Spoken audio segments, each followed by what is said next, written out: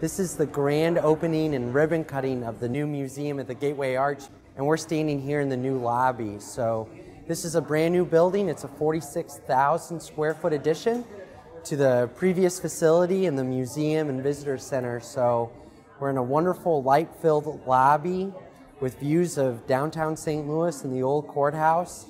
And with the new renovations to the park and that connection over the interstate highway, it's so easy, it's so comfortable to come to the Gateway Arch. My father would have been quite pleased by the connection that was actually made between the arch grounds and the city itself. And he would, I think, be quite pleased by the landscape architect's uh, vision of how that could work.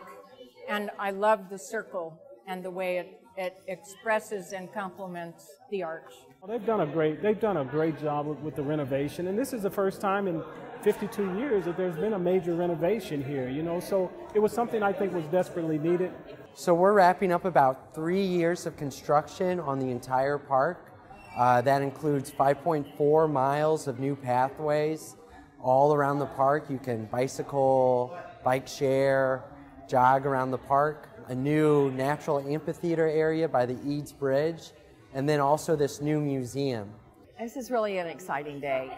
I think one of the things that is most exciting to me is this is an example of how government is supposed to work.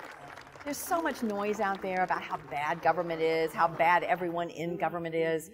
This was a partnership between private charitable giving, the federal government, the state government, the local government, and most importantly, the people of the St. Louis region that decided it was worth it to tax themselves slightly in order to keep this important monument at its tip-top shape like it is today. And we commemorated and celebrated this brand new entrance opening and the new museum at the Gateway Arch opening to the public.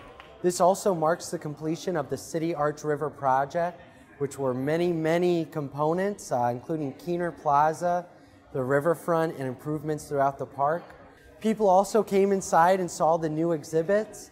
Still about the westward expansion of the United States, but these great new exhibits tell St. Louis's story as gateway to the West. People that went on those trails bought their supplies here on the riverfront. So people learned all about the history of this city and all about the history of the West. I've traveled to many countries as part of my work. Every time I say I'm from St. Louis, they say the Arch. and so it is St. Louis. It is so identified with us. And I think to make it this incredible unifying force with the courthouse and with all of downtown, it's going to be great for people visiting our community, and it's going to be great for all of us who live here. Anytime I I fly in and I see the arch, I know I'm home, you know. So for me, it's, it's represented a lot since 1982, since coming here and going up in it. And people didn't know, but I was very claustrophobic. And, you know, my first ride up in it was, uh, it was exciting. but At the same time, it was a little scary for me, being burly man that I am, you know.